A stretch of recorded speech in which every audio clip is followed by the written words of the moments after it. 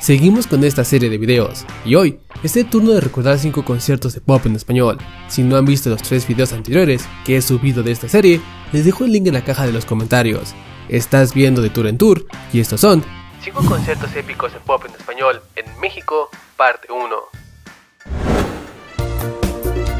Número 5. Parchís, 1982. A finales de la década de los 70, las canciones de Cricri entretenían musicalmente a los niños de México, hasta que a principios de los 80 llegó el grupo español Parchís para convertirse en un fenómeno de ventas e ídolo de masas.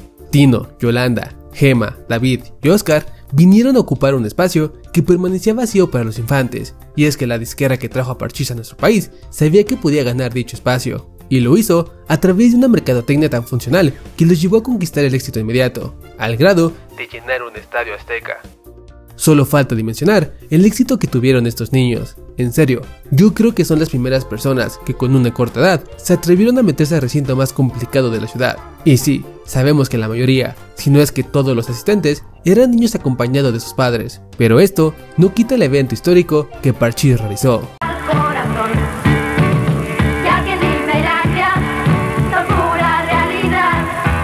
Por la información recolectada de internet, se dice que se dieron cita entre 80.000 y 100.000 personas, y que este duró alrededor de 30 minutos. Imagínense que fueron casi 100.000 personas y solo haya durado 30 minutos el concierto. Esos son el hecho es que este concierto vino a romper muchos paradigmas y dar el ejemplo de que llenar el Azteca no es una tarea fácil.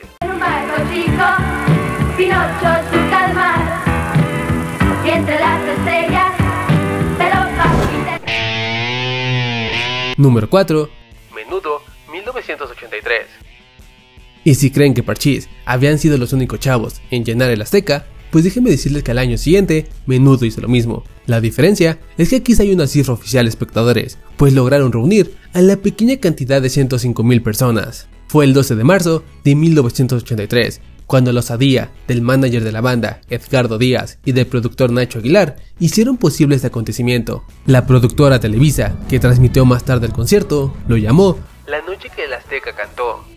105 mil personas vieron a menudo en el Estadio Azteca. Vieron es una manera de decir, porque por increíble que parezca, aquel espectáculo no incluía pantallas gigantes. Los chicos de la banda eran apenas unos movedizos puntitos a la distancia. Pero con todo y eso, no hubo ni una queja por parte de los fanáticos.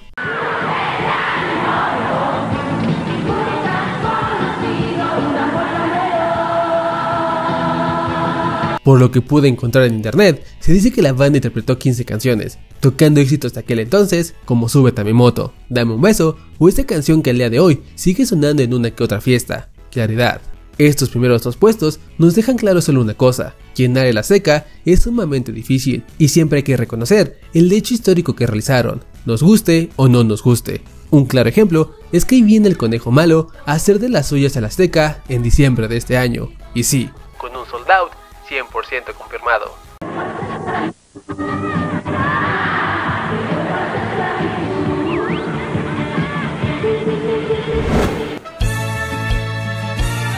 Número 3. Selena, 1994. Esta no fue la primera presentación que Selena hizo en México, pero sí la última y la más importante. Este año se cumple 27 años del fallecimiento de la cantante estadounidense, y qué mejor que recordar la vez que hizo retumbar a la Feria de Monterrey. Nos trasladamos a la tierra de la carnita asada, y es que fue allá, por el 12 de octubre de 1994, cuando se dio este acontecimiento, meses antes de su asesinato. Esta era la cuarta vez que se presentaba en Monterrey, y según datos recopilados, el estadio de béisbol registró una asistencia de 175 mil personas. Se dice que se quedó nada de cancelar el concierto, debido a que los asistentes estaban fuera de control, hasta el hecho de saltarse las fallas para estar más cerca de su intérprete favorita.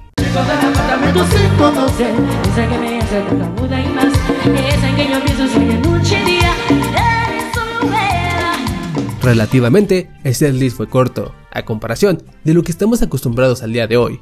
Pero esas 14 canciones que interpretó Selena para los regiomontanos fueron suficientes para recordar este concierto toda su vida, pues lograron escuchar éxitos como Amor Prohibido, Baila esta cumbia y su éxito más trascendental como La Flor. Ellos fueron los últimos en escuchar la gran voz de Selena en México.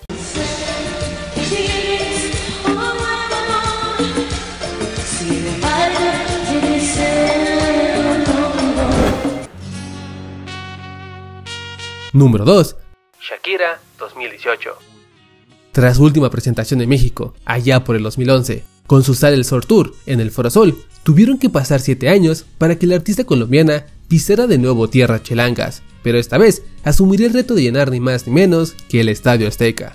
Los días elegidos serían el 11 y 12 de octubre del 2018, iniciando en México su gira latinoamericana El Dorado World Tour. En ambas fechas, la pirotecnia fue la señal para el comienzo, aunque la primera tuvo un retraso por una fuerte lluvia. Y tras proyectarse una serie de fotografías de ella en diferentes etapas de su vida, desde bebé hasta la época actual, la rubia apareció en el escenario, a paso veloz y con una gran sonrisa en el rostro. Buenas noches México, fueron sus primeras palabras antes de interpretar Estoy aquí y ¿Dónde estás corazón? La nostalgia había comenzado.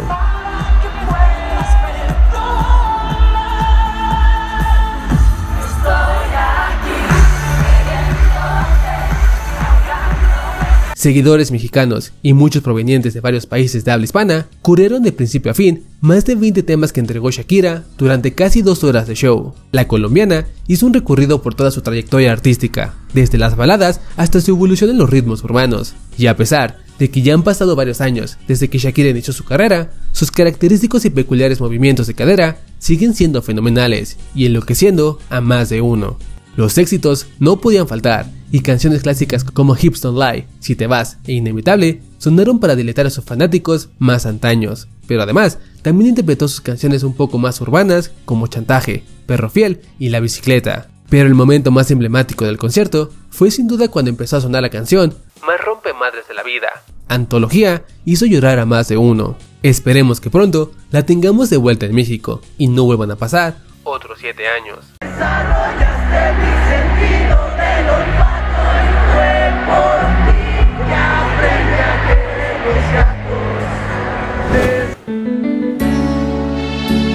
Número 1. Juan Gabriel, 1990. El recinto más importante de la cultura en México cambiaría por completo en 1990.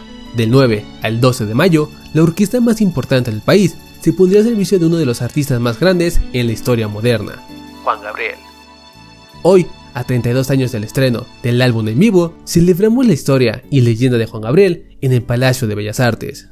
Para que se den una idea, los boletos para ver a Juanga en Bellas Artes no solo se agotaron, sino que llevaron a muchas personas a comprar los tickets en reventa y con precios altísimos, de 70 mil a 300 mil pesos de la época. Al final, el evento incluso tuvo la presencia de varias figuras relevantes en México, pues hasta el entonces presidente de México, Carlos Salinas de Gortari, fue a escuchar al Ivo de Juárez. Lo sucedido durante esos cuatro días de mayo de 1990 se convirtieron en historia pura. Un Juan Gabriel vestido con un traje adornado, con lentejuelas doradas, logró que miles de personas de diferentes clases sociales se unieran a través de su música, durante un show de casi tres horas.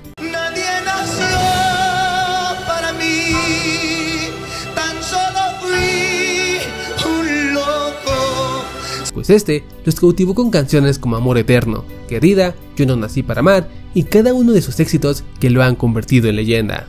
Juan Gabriel logró muchas cosas durante su vasta trayectoria, pero si algo es seguro, es que su show en el Palacio de Bellas Artes de 1990 se convirtió en un antes y un después en la historia de la cultura popular en México.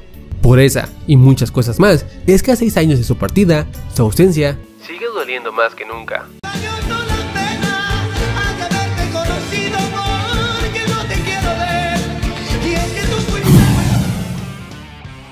Esto sería todo por este video. En la caja de los comentarios, déjame saber qué otro concierto de pop en español te gustaría que reviviéramos en próximas partes. Si les gustó el video, ayudarían mucho dándole like y suscribiéndose. Gracias y nos vemos en la próxima.